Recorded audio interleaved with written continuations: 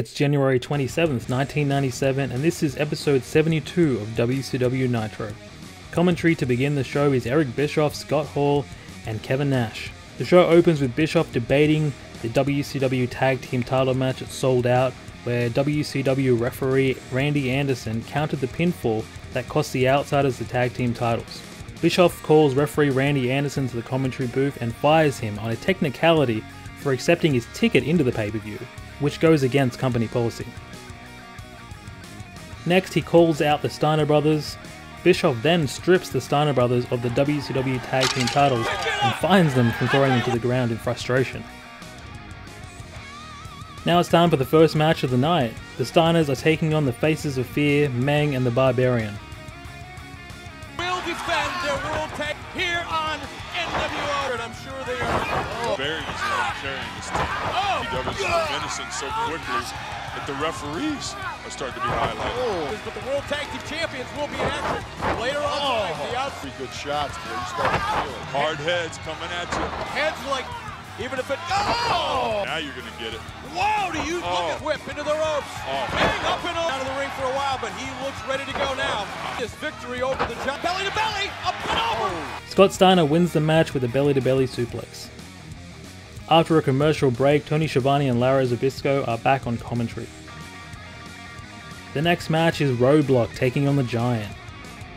Roadblock, and Roadblock wants to take the fight. A chance. Oh, it's something he'll never forget. Roadblock, but the only thing saving it. Oh, pick up. Bell. Or he would have. Thanks to Look at the drop kick. Drop kick. He got him up and down. The Giant absolutely destroys Roadblock. After the match, the Giant gets on the mic and challenges Hollywood Hogan to a rematch tonight. The third match of the night is Eddie Guerrero taking on Jeff Jarrett. He's on a roll and Championship and fire. Oh, unveil across the few moments to the New World Order. Picking up the cover does Hulk Hogan have any co- line. Oh! Doesn't do it.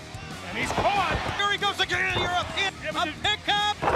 He's going down. Deborah is seen bringing Mongo to the ring. Mongo jumps on the apron, ready to hit Guerrero, but instead hits Jarrett with a briefcase. It looks like Mongo is finally done with helping out Jeff Jarrett.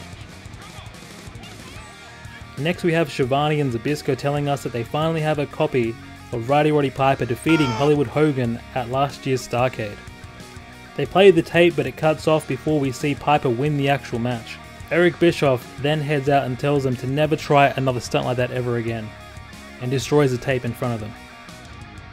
Next match is the Ultimate Dragon with Sonny Onoo taking on the debuting Billy Pearl. Sonny Onoo out with him, the Ultimate Dragon, even though he's a champion. That belongs for the match later on tonight in the Giant. What's talk Hogan tonight? Eric Bischoff and the New World Order, they've made their presence known. And not the hard way. Oh, Now the Ultimate Dragon. Earl puts him. he sees him. Oh, he's Sam pick up. No, over the top. Whoa. Double chicken wing. The Ultimate Dragon wins the match with a Tiger Suplex. Next, Mean Gene is on the ramp and introduces the Four Horsemen. Tonight, the Four Horsemen seem to all be on the same page. Flair and Anderson are very complimentary to Mongo and Benoit. Mongo apologizes to Deborah regarding his attack on Jarrett earlier, but it's just the way it has to be, and the Horsemen have to come first. Benoit addresses his recent matches with Kevin Sullivan. Benoit says he's beaten Sullivan mentally, physically, and spiritually, and it's time for Sullivan to just move on because it's over. Deborah really has nothing to say and really just wants to leave. Next match, Ron Powers is taking on Lex Luger. Luger. And oh! Luger. Dean the total package. Oh, he picked him up with ease. Picked him up like a. Luger wins the match with a torture rack. After the match, Mean Gene is in the ring for a post match interview with Lex. Gene asks Luger what he thinks of the Giant. Lex tells Gene that with the NWO running rampant over the WCW, he's open to working with the Giant if it means taking down the NWO. The amazing French Canadians are taking on Arn Anderson and Steve McMichael with Deborah. Very long time. How about Devon Anderson and throw him over the ring? You mean they beat Bischoff? Eric Bischoff can say, hey, the fact that Randy Anderson for this sport. And you see Rumps. Oh, my. Ultimate tag team wrestler. Oh. Totally dominant. Tell you what. And Steve McMichael oh. into the, the man in. Look at this. Right back up. And puts him on his partner. Gives him the flag. McMichael's got the briefcase. Mongo wins the match after a shot with the briefcase. The Outsiders, Hall and Nash with Syxx are defending their WCW Tag Team titles against the Extreme. And you're right. It's been all Scott Hall. They're Paul from that office. Oh, yes, Washington. Hall and Nash. Himself in the same line as Randy Anderson. Scott Hall hits the Outsiders Edge for the win. Next up, Joe Gomez is taking on Kevin Sullivan with Jimmy Hart. Are in the same arena. The same with them at all times in different dresses. With those. Oh, and Sullivan. Double stomp. Sullivan squashes Gomez and wins the match with a double stomp. Hollywood Hogan and Eric Bischoff with Elizabeth head to the ring. However, Bischoff sends Liz back, not sure why. Uh, once in the ring, Bischoff exaggerates Hogan's performance in his match against the Giant at NWO Souled Out. The two then list off the men that have been taken out by the NWO so far Randy Savage, Roddy Piper, and they're saying now the Giant is on that list. Sting and Savage then show up in the crowd. Bischoff tells Savage that there's no job for him in the WCW, but if he wants to join the NWO, all he has to do is call him. Hollywood Hogan agrees to wrestle the Giant, saying that he'll do it for his fans, and that the Giant is easy pickings because he's just a loser. Jerry Flynn is taking on Dean Malenko. Fans don't forget still a count Nitro from Des Moines. And Tony, how much he means to the NWO. Up against the wall, so to speak. Oh, oh a good top turnbuckle. Oh. oh and he Nico usually doesn't make that tried to pick up in a power slam. Up, Texas Cloverleaf. When's? Malenko wins the match with a Texas Cloverleaf.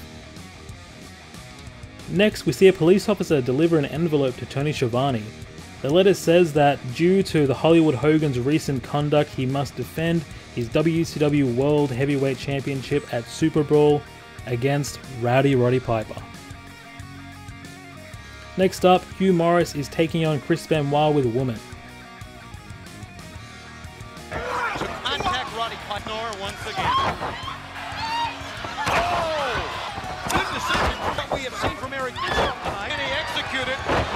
Benoit hits the flying headbutt and it looks like he's about to get the win, but a woman jumps the guard railing and gets in the face of woman. Whilst Benoit and the referee are distracted with this, Sullivan hits Benoit in the back of the head with a chair. This would allow Hugh Morrus to pick up the victory. After the match, we have an interview on the ramp with Mean Gene Sullivan and Jimmy Hart and the Mystery Woman. Jimmy Hart tells Sullivan that we don't need this. The Four Horsemen have been pulled apart by women and Sullivan agrees. The Mystery Woman tells Jimmy Hart that as great as he is, he can't give Sullivan what she can. Gene reminds that this is a family show, and they all leave together. Now for tonight's main event, Hollywood Hogan with Eric Bischoff, Ted DiBiase and Vincent taking on the Giant. Before the match, Hogan gets on the mic. Hogan challenges the Giant and Roddy Piper to come out together and he'll take them both on in a handicap match. But obviously, Piper isn't there.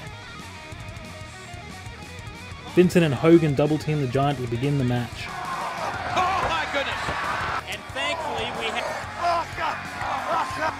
Elbow in the back of the to work up to that choke slam with that backbreaker. Vincent is in! And he dumps him over the top. This is good. The match ends with the NWO interfering in the match as the NWO did at Souled Out. Just as the NWO is getting the better of the Giant, Lex Luger is making his way to the ring. Luger and the Giant stand off, but Luger turns and stands with the Giant, facing off with Hall and Nash to finish the show. Thank you so much for watching. If you enjoyed, please leave a thumbs up, if not a thumbs down, and I'll see you on the next one.